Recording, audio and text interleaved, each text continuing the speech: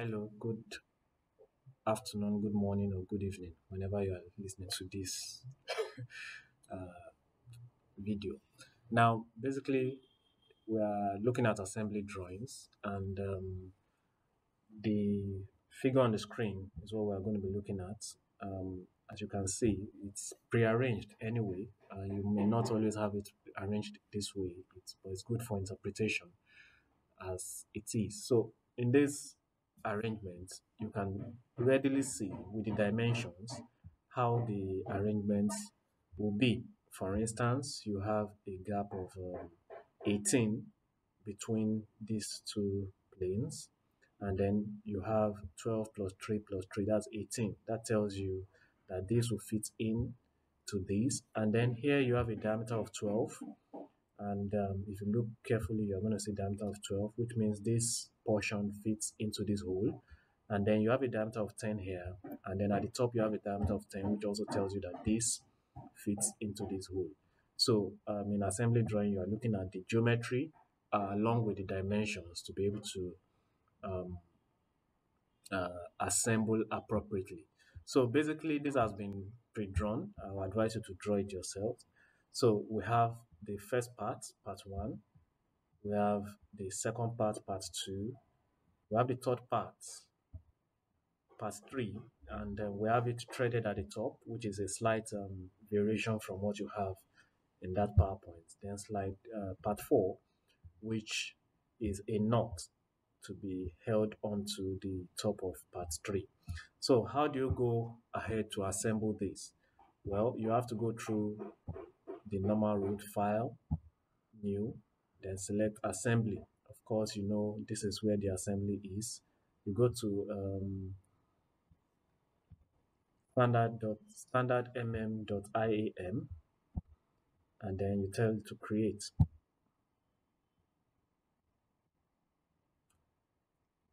Now we're in the assembly file. It's clean. Uh, so the first thing you're going to do when you're in this environment is to place the uh, parts you want to assemble. So you click on place. Be mindful that place has a drop down which has other components, but make sure you are clicking on place to be able to place the components which you want to put.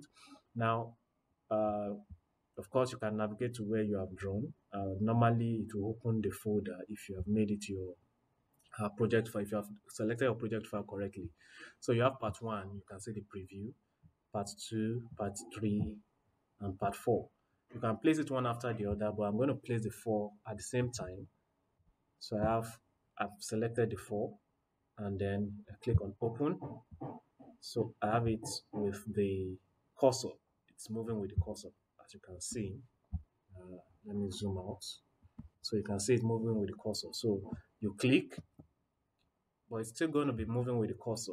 With and um, for instance, this is helpful when you have more than one uh, one occurrence of any particular part. So you can click it as many times as possible to create those occurrences. But in this case, there's just one occurrence of every part. So I'm just going to say escape.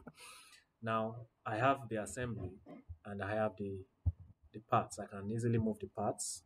All parts are movable. Um, but um, I would normally advise that for ease of assembly, so that you can readily have it assembled or so that your parts won't just be moving arbitrarily, it's better to fix one component, uh, which will be the reference component. So I'm just going to fix this. Uh, let me, okay, let me fix this. So you right click on it and then you say grounded grounded. So you can't move this any longer. No matter how you try, you can move others. So you can move others. Now I want to orientate it properly so that um, I can properly um, assemble.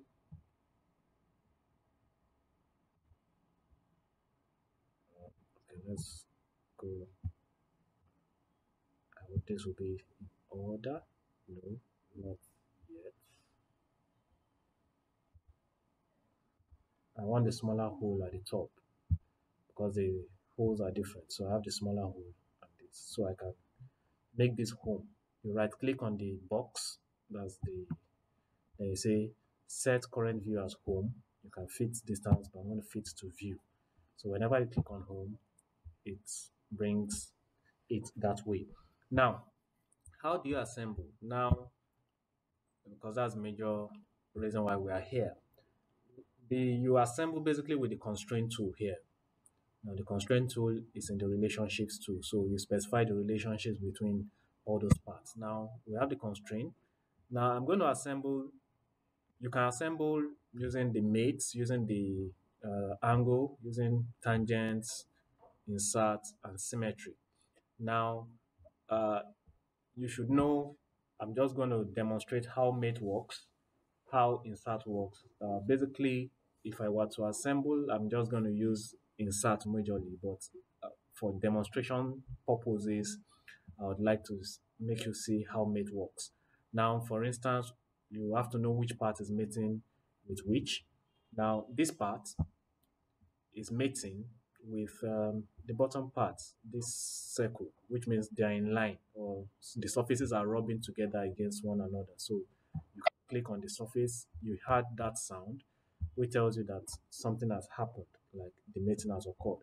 So if I say apply, now, so so if you move, I'm going to escape now so that we can see the effects of that.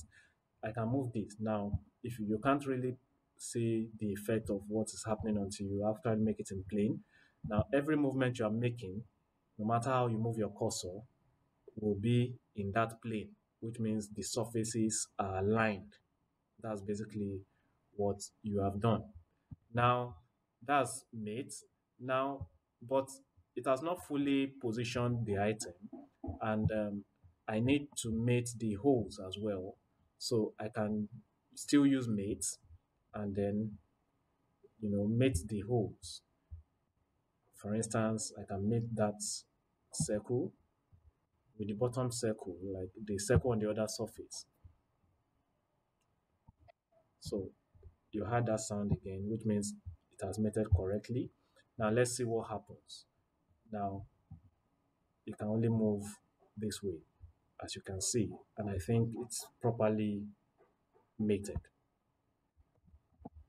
Now, um, then let's see, how do we uh, put this in? You have to know the correct position. It's supposed to come in from under.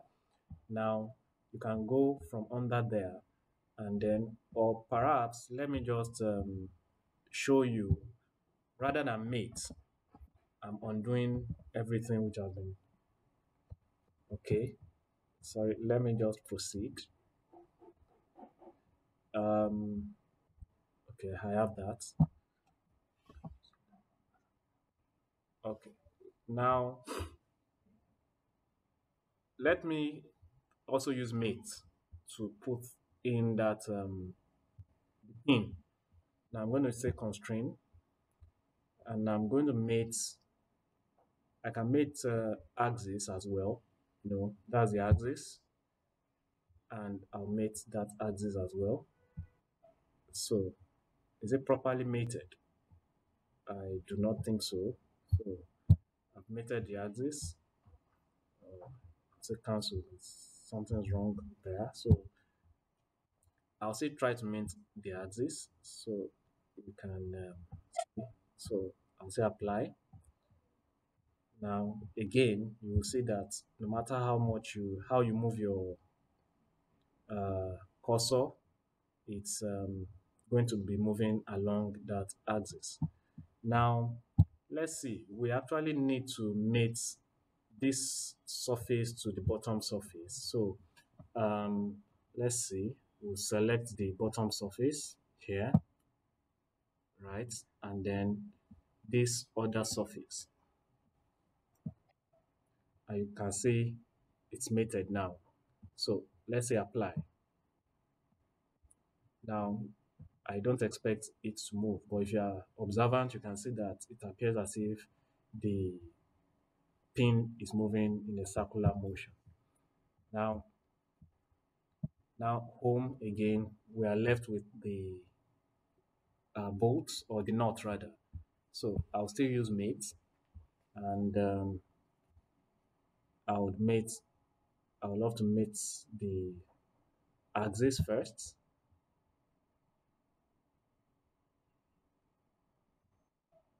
Okay, apply. So we'll see how it moves. Can move up and down along the axis. But now let's make uh, surfaces. So I'm going to click on constrain and then click the bottom surface or the circle. I could click the circle as well uh, rather than the surface and then click on this surface. So I have a surface and I say apply and again you can see it's moving in a circular motion, no up and down motion and things like that. So basically you have moved, you have made, uh, you have assembled the drawing and all of the components are in their respective um, positions and in their operational positions, or should I say functional positions. So basically that's how to mate. I'm to stop this video now so that you can assimilate. Thank you.